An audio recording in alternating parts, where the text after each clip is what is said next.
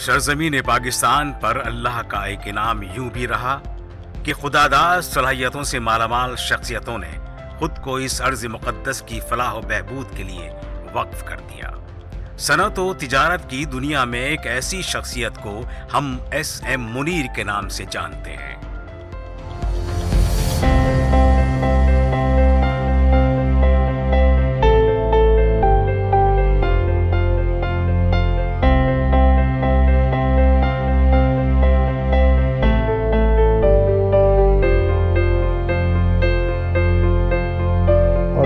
کو انتہائی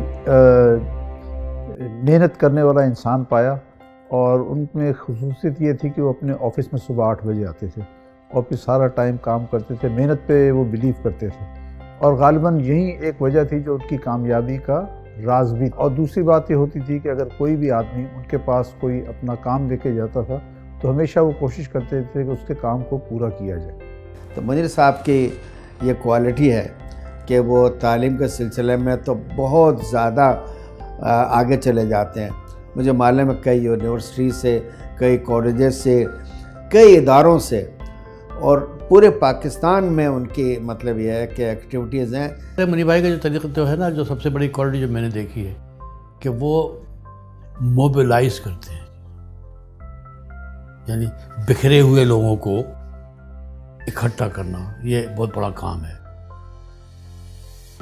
منی بھائی نے کیا کیا کہ پورے پاکستان کی انڈسٹری جہاں پر کہ کوئی ففٹی ایٹ چیمبر ہیں اور ایک سو اٹھارہ ایسوسیشنس ہیں اسٹیٹ باڈیز ہیں، تین ساڑھے تین سو قریب لوگ ہیں پورے پاکستان میں۔ ان سب کو ایک پلیٹ فارم پہ لانا یہ ہے لیڈرشپ کوالٹی ہر شخص کی زندگی میں مشکلات آتی ہیں، اس مشکلات کو ہینڈل کرنا پڑتا ہے، اس مشکلات کو فیس کرنا پڑتا ہے۔ شروع شروع میں کاروباری مجھے مشکلات تھی لیکن میں نے بڑی محنت کی۔ اصل بات ہے کہ ڈیڈیکیشن ہونی چاہیے۔ اگر ایمانداری سے لوگ کام کریں تو ہر اللہ میاں مدد بھی کرتا ہے۔ میری ایمانداری کی کوشش شروع سے یہی تھی کہ میں سارے بزنس کمیٹی کو ساتھ دے کے چلوں۔ میں نے بزنس کمیٹی کے لیے بے انتہا گورنمنٹ سے میٹنگز کی بزنس کمیٹی کے مسئلے دور کرائے۔ مجھے پرائم منسٹر نواز شریف صاحب نے خود فون کر کے کہا کہ آپ آئے اور T D A P trade development authority کا چارج لے رہے ہیں میں اس کا چیئرمین تھا ٹریڈ ڈیولپمنٹ اتھارٹی پاکستان کا۔ پرائم منسٹر نواز شریف نے مجھے کہا تھا کہ تیرہ سو کروڑ کی تیرہ ارب کی وہ کرپشن ہو چکی ہے۔ آپ اس کرپشن کو ختم کریں۔ میں نے تین سال میں کرپشن زیرو کر دی۔ میں خود وہاں کوئی تنخواہ نہیں دیتا تھا۔ میں نے تین کروڑ جیب سے خرچ کیا تھی کہ میرے ملک کا خدمت تھی اور میرے پاکستان کی خدمت کی۔ ایس ایم منیر صاحب کو اللہ نے ایک ہمہ جہد شخصیت عطا فرمائی ہے۔ وہ پورے ملک کی فلاح و بہبود کے لیے کوشاں ہیں۔ ہماری دعا ہے کہ اللہ تعالیٰ اس فرزند پاکستان کو مزید ہمت و قوت عطا فرمائے اور نوجوان نسل کو ان کے نقش قدم پر چلنے کی توفیق ملے۔ ایس منیر صاحب، ایک بہت اچھی شخصیت کے مالک ہیں۔ آپ کوشش کرتے ہیں کہ لوگوں کو کسی بھی صورت میں ان کی مدد کی جائے۔ اگر ان کے مسائل ہیں، مسائل کو حل کیا جائے۔ اور اس میں نے انہیں دیکھا کہ وہ تقریباً چاہے دن میں ان کے پاس جتنے بھی لوگ آئیں دس آئیں پانچ آئیں وہ سب کے مسئلے حل کرنے کی کوشش کرتے ہیں اور اس میں وہ کافی حد تک بہت کامیاب ہوئے۔ یہی وجہ ہے ان کا کہ وہ لوگوں کے درمیان اتنے مقبول ہیں۔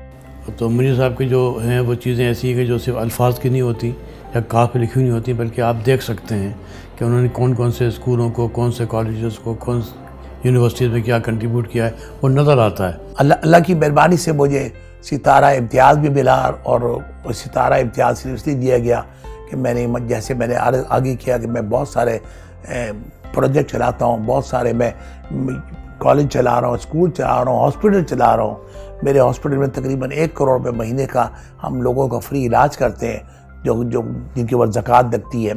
اس کی وجہ ستارہ امتیاز ہی بج دیا گیا کہ میں نے بہت سارے پروجیکٹس میں کام کیا اور میں I work for the cause of humanity میں آپ کو بتانا چاہتا ہوں، اگر آپ چاہتے ہیں میرا ملک ترقی کرے ہمیں دو کام سب سے بڑے ضروری ہیں۔ ایک تو یہ ہے کہ ہم سچ بولیں، منافقت نہ کریں اور ٹائم کی قدر کریں۔ ٹائم کی قدر کریں گے تو آپ دیکھیے گا، اللہ تعالیٰ ہمارے ملک کو بہت بہت ترقی دے گا۔